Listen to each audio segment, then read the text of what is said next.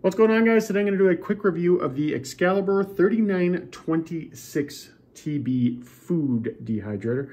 In this review, I'm going to tell you everything that you need to know about this dehydrator, including one thing that I think that you should know before buying. So first things first, I already had the Excalibur 3900B. I've been testing out uh, food dehydrators for a little while now just to see the one that I like the most. This one is interesting. Um, it's actually pretty much the same thing as the 3900, except the 3926TB has one very important feature, which is this timer. And this timer is really nice because you could set it all the way up to 26 hours in the future. And what it does, which I really like, is that it automatically shuts off when your dehydration time is done. But that said, if this is the first Excalibur that you're looking at, a few things about it. So this is American made. It is this quality product. Really, really like it. Um, to open it, you just go under here you pull this and you can see all of the trays. There are nine different trays here. Uh, and these trays basically are nothing more than uh, basically a piece of plastic with another piece of plastic on top. Now you may be looking at this and saying, well, that looks a little cheap. It does seem cheap, but here's the thing. When you're cleaning this stuff out, you won't mind that they've designed it that way uh, because it's a lot less likely that your dehydrated food or juices, things like that, will stick to other things. Beyond that, when we take these out, which I'll do in a second, we can see that there is a fan back here. And that is basically the heating element and the fan that dehydrates your food. So what do I like about this dehydrator? Well, first thing is that it has about 15 square feet in here. Um, so a lot of room to dehydrate. I also like that it's American made. Always like to support local businesses, that sort of thing. Also, and this is something with the Excalibur dehydrators in general.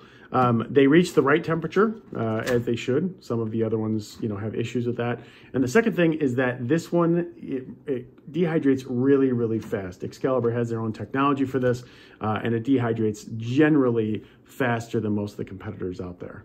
So aside from having some amazing, amazing beef jerky in here, I've also had some good fruits.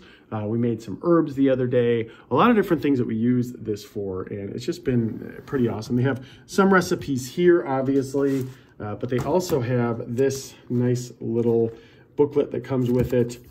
It's not all in French, whatever that is, but it actually gives you a lot of different recipes as well, which I think is pretty cool stuff. And it really is kind of inspiring, like, oh, I didn't even know I could do that. There's a lot of things in here that you may not know that you can do. In terms of turning it on, it's really not all too loud. We just set the temperature that we want here, and then we'll just turn the timer. You can hear this. It does make some noise, but I mean, it's a machine that's made just for dehydrating. And also, I do have the front open as well right now, so it makes it a little louder with the fan. By comparison, I just turned the fan off, so you can hear it. Still got some noise, but good product overall. Now, in terms of the one thing I think that people should know before they buy this, so there were some complaints that I saw with reviews, some people saying, hey, this thing showed up and it is in shambles, it's cracked, it's destroyed. Um, this material, I, it's plastic, like this one, but it's a, it's not like, I don't know how to explain it. It doesn't seem like an easy to break plastic, I guess is what I'm trying to say. It's something, something that seems stronger than that. Um, and in general, I think, you know, there's going to be some times in shipping where things happen. I, uh, with the dehydrators I got, never had a problem, and this one included. So this has been great. But yeah, uh, overall, we like it a lot. Makes some great dehydrated food. And if you're thinking about getting it, um, definitely pay attention. This one, it has the timer and the other does not.